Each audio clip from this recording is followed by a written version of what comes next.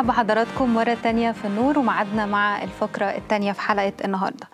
لما بنلاقي حاجة غالية مش بنشتريها أو يعني بنقاطعها وبنقول بلاش منها. لكن لما بنتكلم في الأساسيات يعني الخضار والفاكهة دي الأس... دي أقل حاجة. مش بنتكلم في ال في الخضار في في اللحمة والفراخ اللي بقت رفاهية لبعض الناس للأسف. إحنا بنتكلم في الأكل والشرب الخضار والفاكهة اللي هي الأساسيات.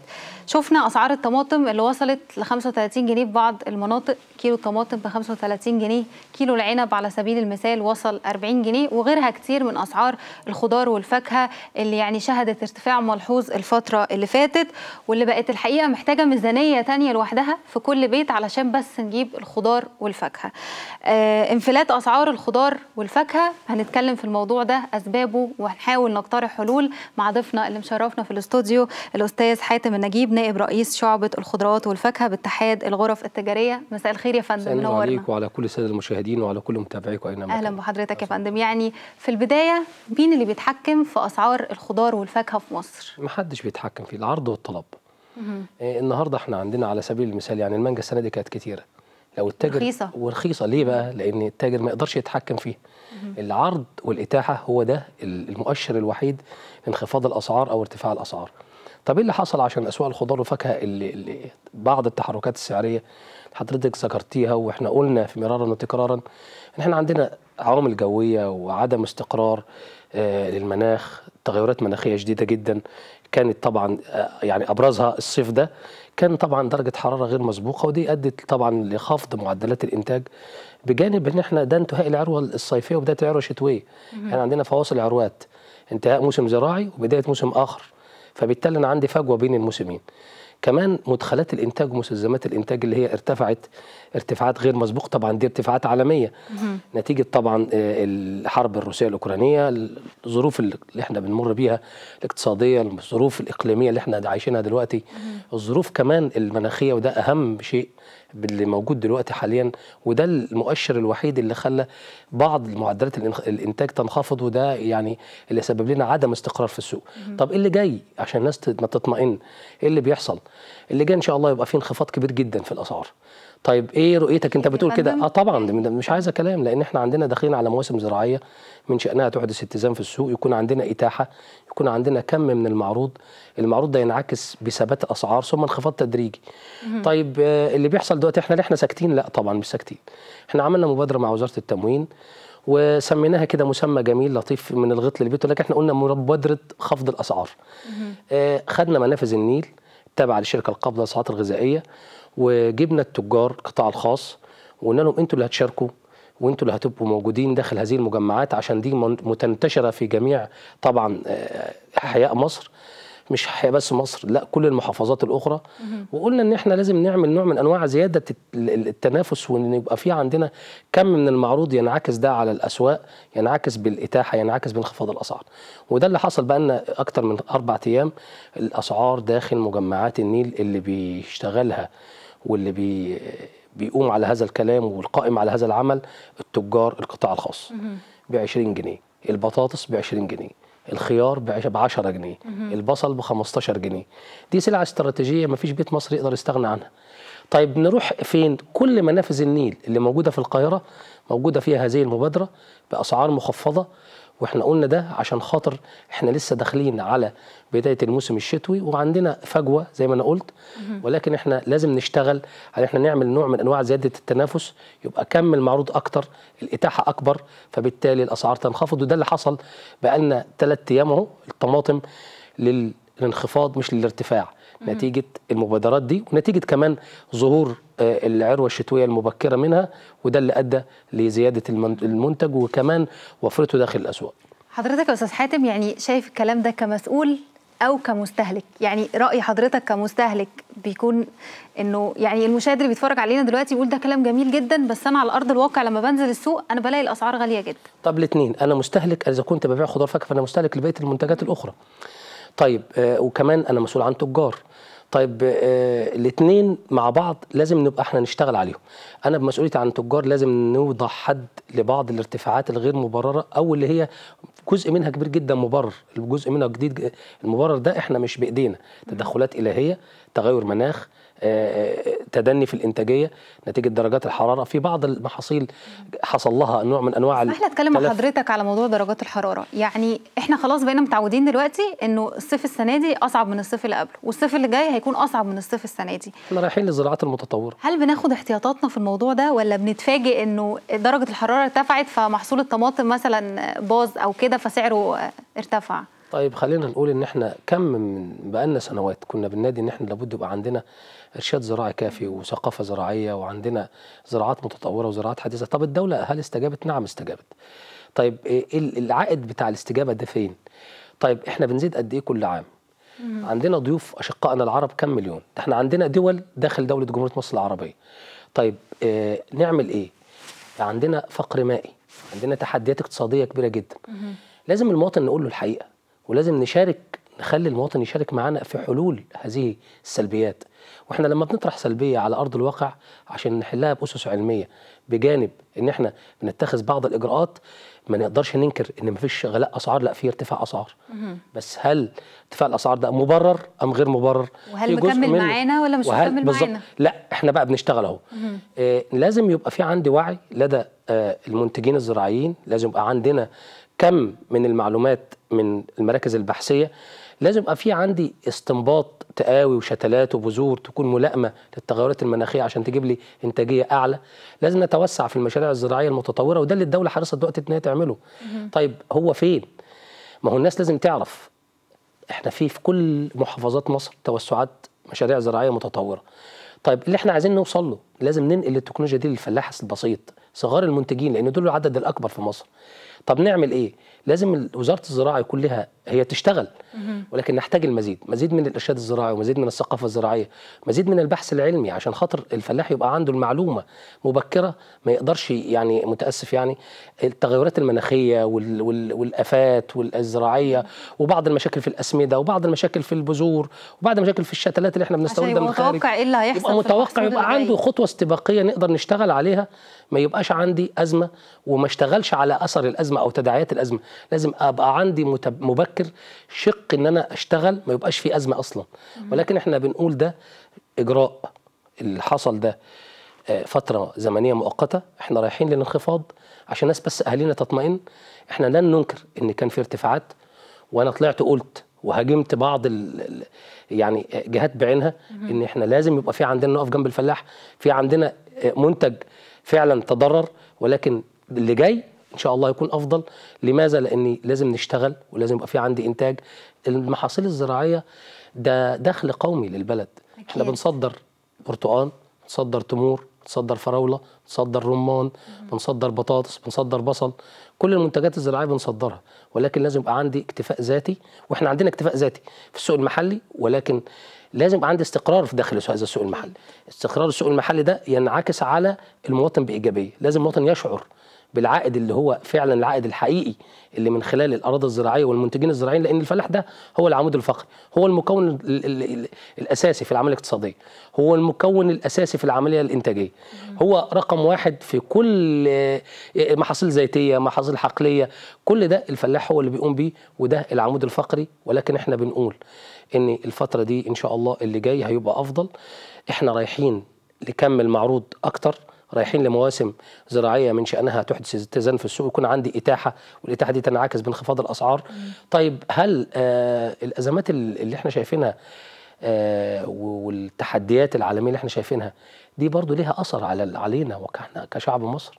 ولازم تبقى الناس فاهمة الكلام ده ولازم نفهم الناس ونوعي الناس. حضرتك تشرح لنا إزاي الحرب اللي في روسيا وأوكرانيا والحرب اللي موجودة في الإقليم دلوقتي إزاي هتأثر على الفلاح اللي في قرية اللي في مركز بيزرع الأرض بتاعه أو الكام فدان اللي عنده؟ طيب إحنا خلينا بقى نتكلم على مدخلات الإنتاج ومستلزمات الإنتاج.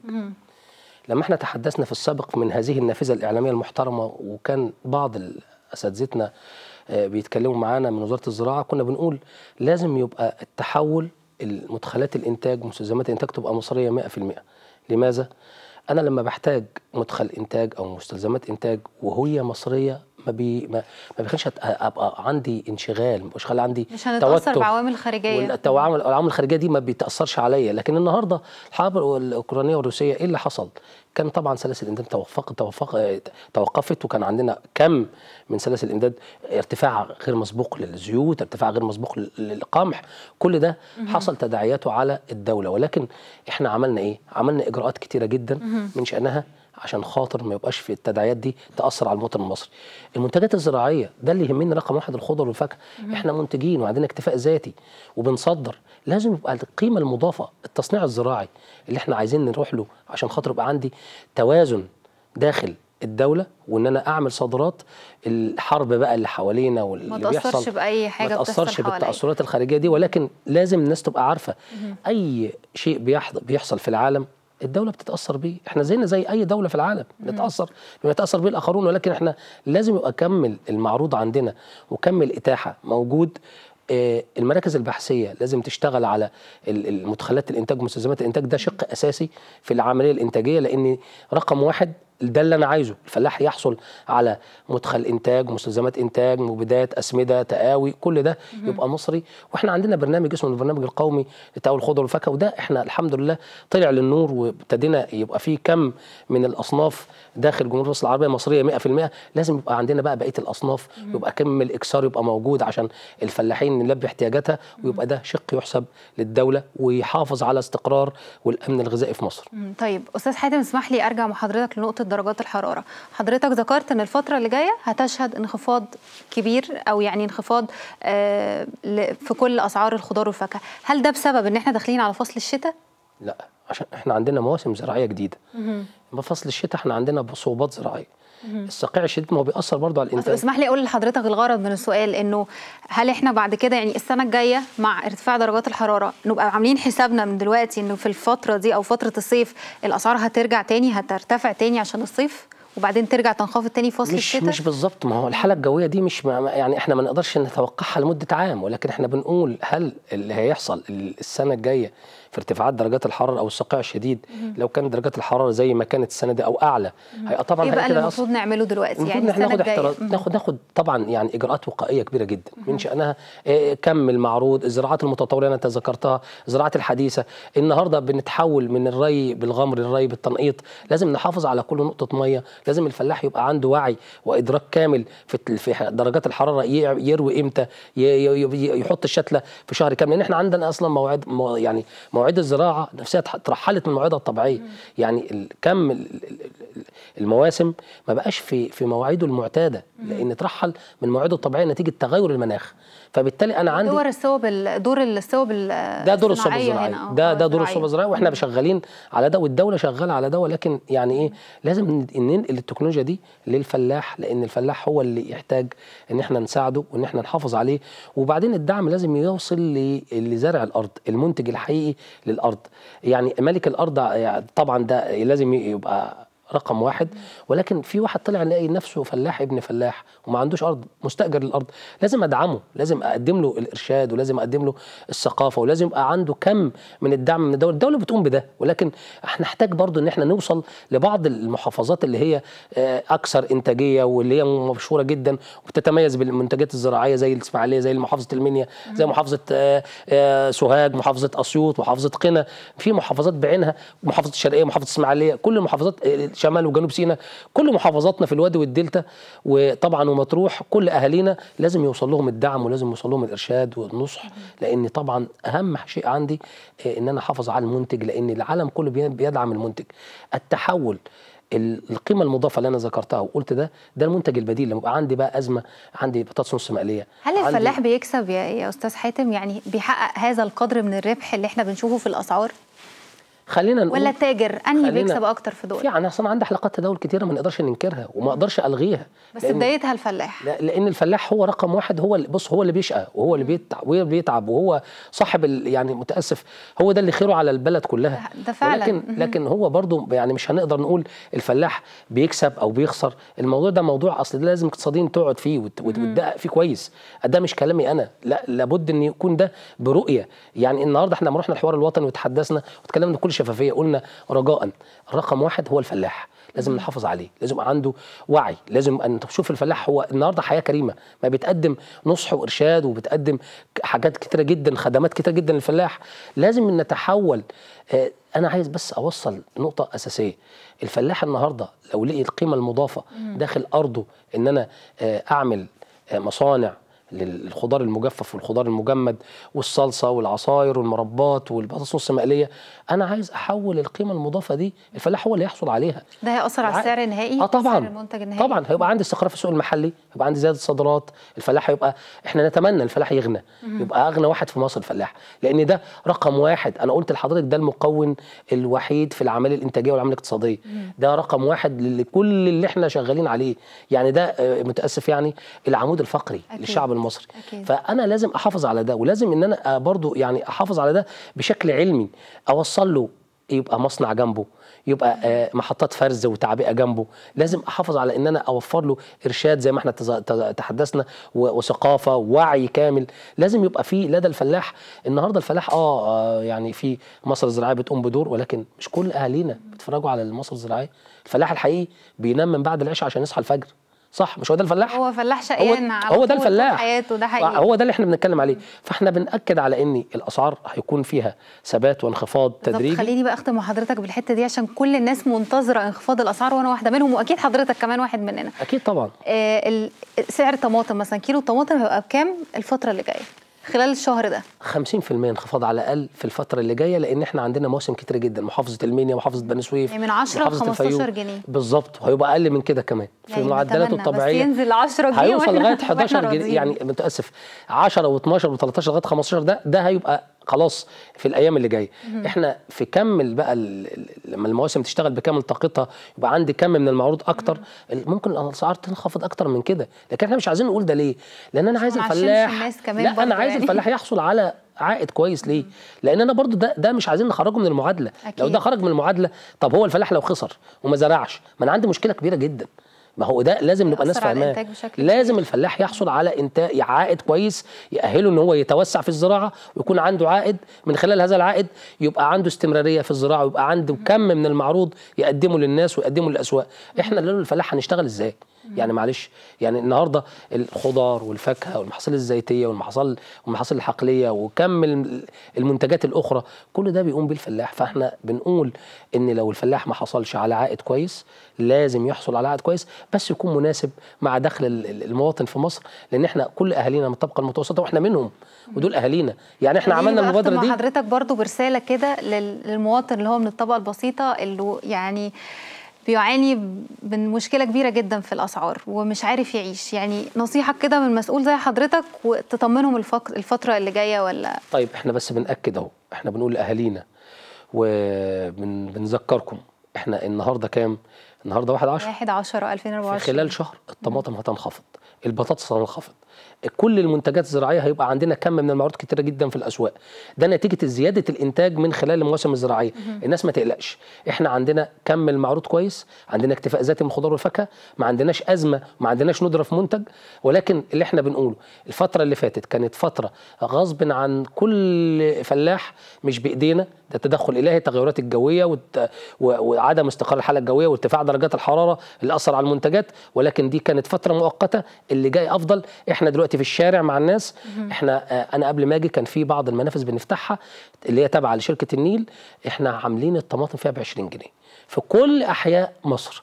آه، كل ده إحنا كان معانا فيديوهات. بس هم قالوا لا أنت كنت ما جبتها لنا من بدري. كنت عايز أعرضها عشان الناس تصدق والناس تروح وتشتري اللي هي عايزاه. إيه، رجاء الناس ما تقلقش. كمل المعروض يبقى كويس؟ ما عندناش أزمة. بعد شهر الله هترخص. هتنخفض. وهنيجي هكلم حضرتك تاني بعد شهر. وهنقول هذا الكلام في هذا البرنامج. هذه النافذه الاعلاميه عايزين نقوله. بقى. عايزين نلاقيه بيتنفذ على أرض الواقع هيتنفذ ويبقى موجود والناس هتحس بيه وهتشعر بيه. يا رب بنتمنى هذا. يعني أنا بشكر حضرتك جدا. شرفتنا النهارده. السادة المشاهدين. ميرسي لحضرتك يا فندم. نورتنا أستاذ حاتم النجيب نائب رئيس شعبة الخضروات والفاكهة باتحاد الغرف التجارية. آه، فاصل وهنرجع تاني لآخر فقرة معانا النهاردة وإحياء مشروع أو مشروع إحياء مسار العائلة المقدسة.